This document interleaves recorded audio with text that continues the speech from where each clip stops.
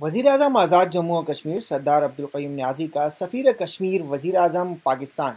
इमरान खान को ओ आई सी इजलास में मसला कश्मीर को जानदार अंदाज में उठाने पर ज़बरदस्त खराज तहसीन पेश किया गया। पार्लियामेंट के बाहर सहाफ़ियों से गुफ्तु करते हुए सरदार अब्दुलक़ीम न्याजी ने कहा कि वज़ी अजम पाकिस्तान इमरान खान ने एक बार फिर साबित किया कि वो कश्मीरियों के हकीकी सफ़ीर हैं।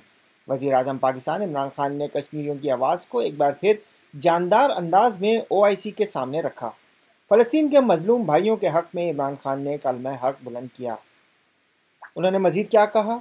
आइए सुनते हैं। कश्मीर के हवाले से वहाँ पर जारी मुजालम के हवाले से बात की क्या कहेंगे इस हवाले से आज की कॉन्फ्रेंस के हवाले से? जी आज की कॉन्फ्रेंस के हवाले से मैं बहुत मुतमिन हूँ।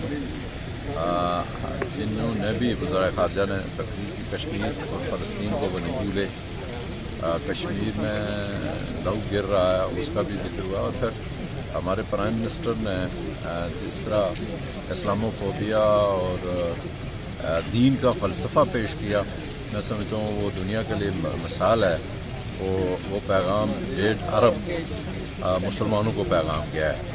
और फिर आज का ये जो समिट था, इसमें मसला कश्मीर नंबर वन रहा और फ़लस्तीन और अफ़गानिस्तान उसके बाद, और फिर यूक्रेन ये तीनों जो मामला दुनिया को इस वक्त खौफनाक कैफियत में रखे हुए हैं प्राइम मिनिस्टर ने और हर एक ने इस पर गुफ्तु की है।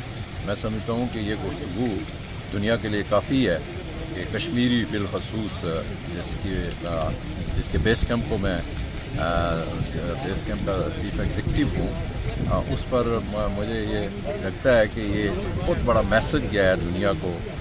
ये जो गुजरा खारजा का आज समिट था, इजलास था यहाँ प्राइम पार्लियामेंट में, इस्लामाबाद में। तो इससे बहुत सारी चीज़ें उन मुल्कों के लिए, मुसलमा के लिए भी आसान हो गई और उन मुल्कों के लिए जहाँ मुसलमान मुश्किल में जिस तरह कश्मीर और फलस्तीन। पी एम साहब दफ्तर खारजा की जानब से जो हुरियत रहनमा है हमारे मकबूजा कश्मीर में उनको दावतनामे दिए गए उस पर भारत की जानब से बहुत प्रोपोगंडा किया गया। क्या कहेंगे इस हवाले से उस प्रोपोगंडे के हवाले से? भारत तो यही है ना कि न कश्मीर में अंदर आए और न कश्मीर के अंदर से कोई जाए। अब जब जाता है कोई तो वो दुनिया को बताता है कि कश्मीर में क्या हो रहा है। तो इस लिहाज से भारत को परेशानी है।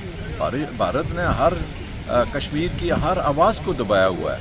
और फिर आवाज़ के साथ तमाम जितनी क्यादत है, उसको, उसने जो है अरेस्ट भी किया हुआ है, हाउस अरेस्ट किया हुआ है।